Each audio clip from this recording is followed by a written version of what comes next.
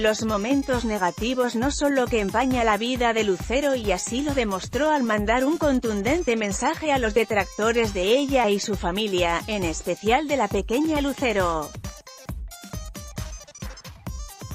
Todo comenzó a partir de que un video publicado en el Instagram de la cantante fuera fuertemente criticado. En él aparecen ella y su hija en la entrega de los premios Bandamax de 2016. Aunque en el video la intérprete de Cuéntame aparece muy feliz festejando el triunfo y abrazado a su hija, los comentarios fueron poco amables con ella, al grado de que Lucero tuvo que desactivar la función para no seguirse sometiendo al acoso, junto con la menor. L0S mensajes dirigidos a la cantante fueron amables con su imagen, sin embargo desprestigian la de su hija, a quien llamaron fea desatando las burlas y comparaciones con su madre, lo cual terminó por enfrentar a la menor al escarnio social.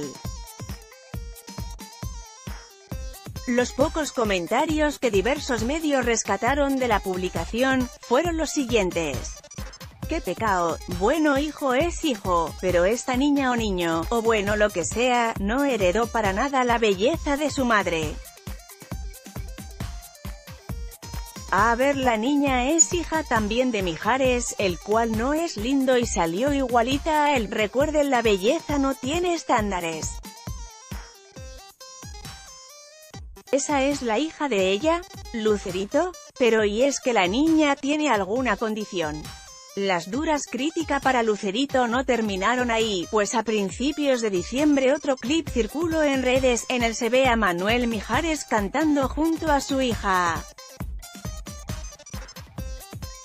Sin embargo, Lucero hizo el clásico de cachetada con guante blanco y mediante su Instagram mandó un mensaje.